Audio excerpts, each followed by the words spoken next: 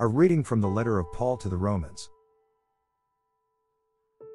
I myself am convinced about you, my brothers and sisters, that you yourselves are full of goodness, filled with all knowledge, and able to admonish one another.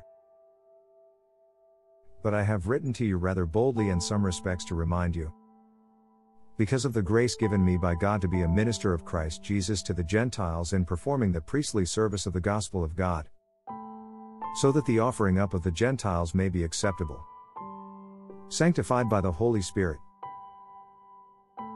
In Christ Jesus.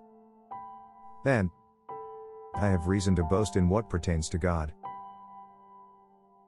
For I will not dare to speak of anything except what Christ has accomplished through me to lead the Gentiles to obedience by word and deed. By the power of signs and wonders. By the power of the Spirit of God. So that from Jerusalem all the way around to Illyricum I have finished preaching the gospel of Christ.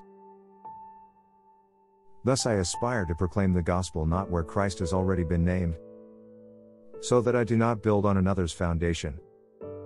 But as it is written, those who have never been told of him shall see, and those who have never heard of him shall understand. This is the Word of God. Thanks be to God. A reading from the Gospel according to Luke.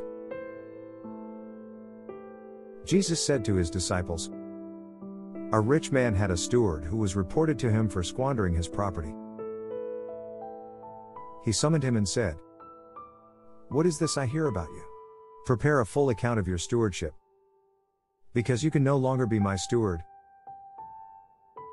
The steward said to himself, What shall I do? Now that my master is taking the position of steward away from me, I am not strong enough to dig and I am ashamed to beg. I know what I shall do so that, when I am removed from the stewardship, they may welcome me into their homes. He called in his master's debtors one by one. To the first he said, How much do you owe my master? He replied, 100 measures of olive oil. He said to him, Here is your promissory note. Sit down and quickly write one for 50.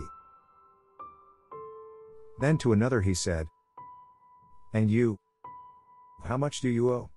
He replied, 100 measures of wheat. He said to him, Here is your promissory note.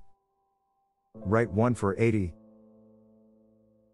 And the master commended that dishonest steward for acting prudently. For the children of this world are more prudent in dealing with their own generation than the children of light. The Gospel of the Lord. Praise to you, Lord Jesus Christ.